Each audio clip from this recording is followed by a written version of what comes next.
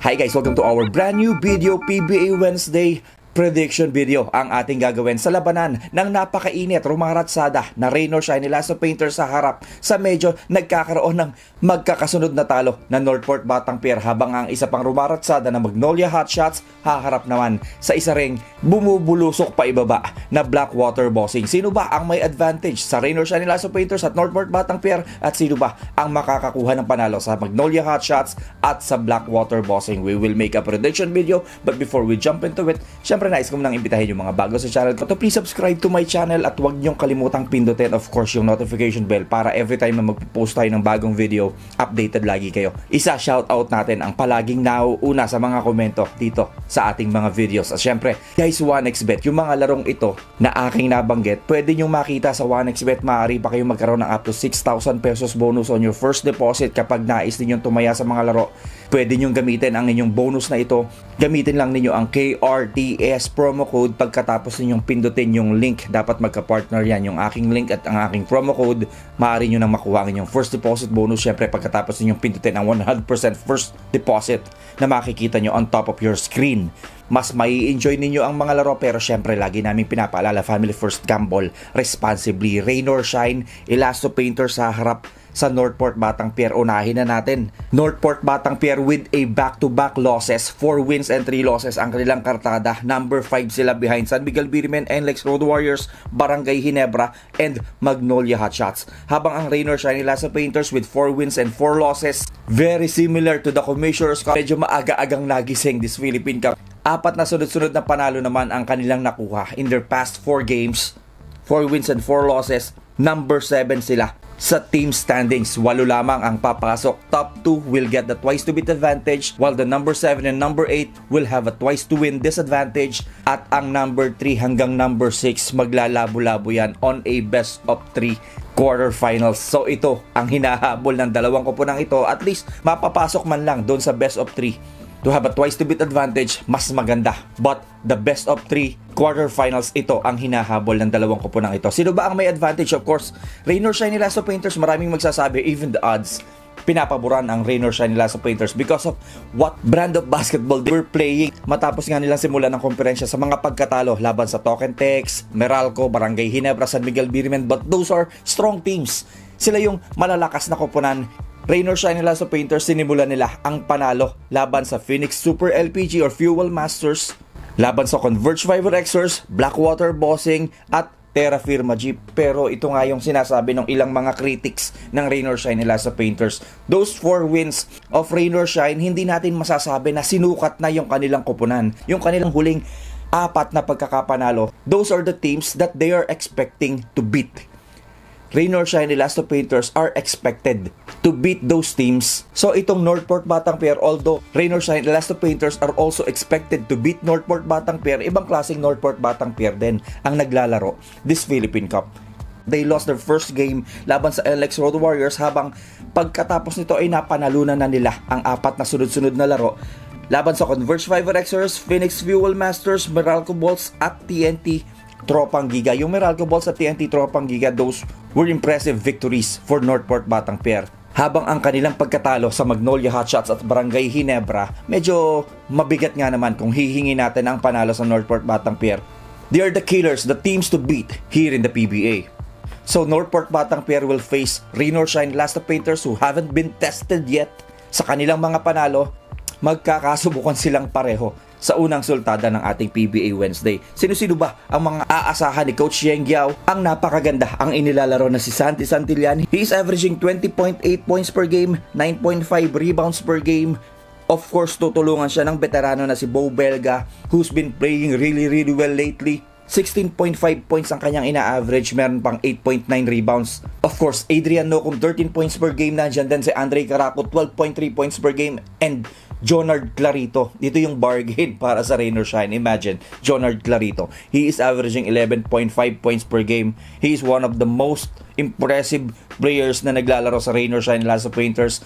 Sila naman ay tatapatan ng mga tirador sa Northport Batang Pier led by Arvin Tolentino who is averaging 21.9 points per game. Joshua Monson 12.1 points per game. Kate Flores 9.7 points per game. Save Lucero or Sav Lucero, he's averaging 9.4 points per game. Fran Yu with 6.9 points per game. Pero yung sinasabi ko nga na reserve player or second unit ng Northport Batang Pier napakabigat because nandyan din si Will Navarro who is averaging 11 points per game. Paul Samar with 7.6 and Alin Bolinadi and JM Calma averaging 7 points per game almost or close to 8 points per game. So mabigat din ang second unit ng Northport Batang Pier. So yung prediction natin sa Rain or Shine at sa Northport, bibigay natin mamaya pagkatapos nating i-review ang laban ng Magnolia Hotshots kontra Blackwater Bossing. Blackwater Bossing, pagkatapos nilang mapanalunan ang kanilang tatlong unang laro, kontra sa Meralco Bolts, TNT Tropang Giga at Converge 5 Rexers, sila naman ay natalo sa NLEX Road Warriors, Terra Firma Jeep, Rainer Shine at sa Barangay Hinebra. Free falling nga ang napakaganda na sana na umpisa ng Blackwater Bossing sila ay masusubukan muli laban sa Magnolia Hotshots after Barangay Hinebra walloped the not so bossing in that game, Magnolia Hotshots naman ang haharap sa kanila. Medyo malaking problema ito para kay Coach Jeff Cariaso. Magnolia Hotshots, they are on a back-to-back victories. Bawing-bawi ang Magnolia Hotshots sa dalawang pagkatalo nila kontra Barangay Hinebra at NLEX Road Warriors. Iyan nga ay matapos nilang mapanalunan ang kanilang unang laro laban sa Converge Fiber, Fiber Xers. Pasensya na kayo. Pero naisip ko lang, ang Converge Fiber Xers, pagkatalo ang pinag-uusapan para silang bugbugin dito sa, sa ating team standings. Lahat ng koponan na aking nabanggit, tinalo ang Converge Fiber Xers. Magnolia Hotshots, they will rely on Ian Sanggalang. Ian Sanggalang we got to love his performance. We have to remember this guy is the second pick behind Craig Slaughter. And he is playing miles ahead right now to the number 3 pick in their draft na si Raymond Almasan. Kung titingnan natin, galing din sa sakit itong si Ian Sanggalang pero yung pagbalik niya, talaga pinatunayan niya na meron pa siya dito, may ibubuga pa siya dito sa PBA at sa Magnolia Hotshots, leading Magnolia Hotshots actually with the names like Polly, Mark Baroka, Calvin Abueva, Ian Sanggalang leading them in scoring and leading them in their games. It says a lot to this player. So we got to love this player despite of everything na pinagdaanan niya, maraming nag-doubt sa kanya nandito siya. 20 points per game. He is leading Magnolia Hotshots. And not only in this Philippine Cup. Last Commissioner's Cup, napakaganda rin ang ipinakitang laro ni Ian Sanggalang. Of course, nabanggit ko nga si Polly or unahin natin si Mark Baroka. He is averaging 14.4 points per game. Napakaganda rin ang pinapakita ni Mark Baroka kahit medyo may iniinda ang lead point guard ng Magnolia Hotshots. Gio Halalon, he is averaging 9.8 points per game, may 5.6 rebounds per game at 4.6 assists per game. Polly, 8.8 points per game, medyo mababa ito sa kalibre ni Polly. Kailangan niyang magpakita, kailangan niyang tulungan.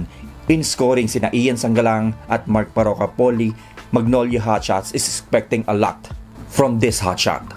Sa panig ng Blackwater Bossing, syempre aasahan nila si Troy Rosario who is averaging 15.1 points per game, 6.7 rebounds per game at tutulungan siya ng napakaganda ng ipinapakita na si Ray Suerte, 12.4 points per game, may 4.1 rebounds per game. Of course, Ray ng Batak, napakaganda sana ng simula ni Ray ng Batak. But lately, alam nyo naman dito sa PBA, pag maganda ang iyong pinapakita, you will be a mark man at sa huhusay ng mga coaches dito sa PBA. If you can play that well consistently, the whole full conference, medyo ibang player ka na, special na player ka na. But Coach Jeff Carriaso, he will be hoping or they will be hoping, the management as well of Blackwater Bossing, na muling sumiklab itong si Ray ng Batak.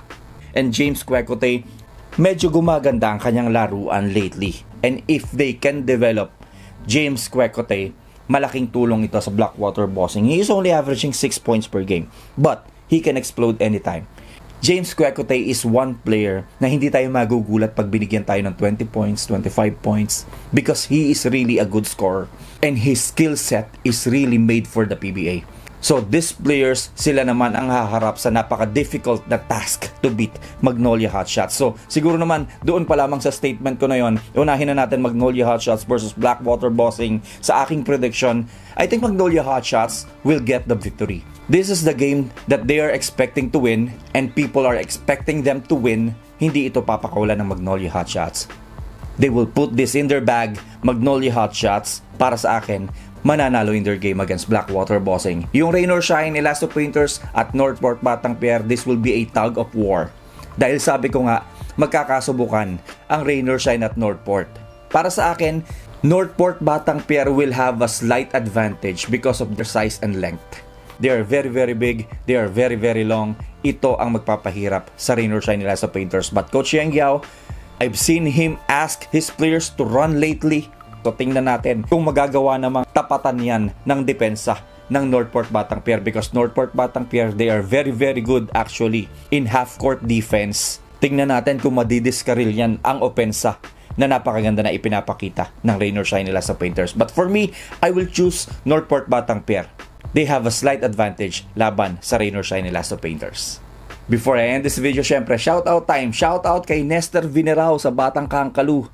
Kay Michael Auro, Michael Awao, Ipe Montoya, Francis Palumayan, Rodante Salvador, Henry Marciano, kay Belen Javier, maraming maraming salamat sa lagi mong pagkomento sa ating YouTube channel at syempre doon din sa ating Facebook page. Kay Roy Ambion, he was the first to comment in our last video. Shoutout sa iyo. Maraming maraming salamat sa inyong lahat sa pagtutok sa ating mga videos. Maraming maraming salamat sa pagmamahal ninyo sa PBA.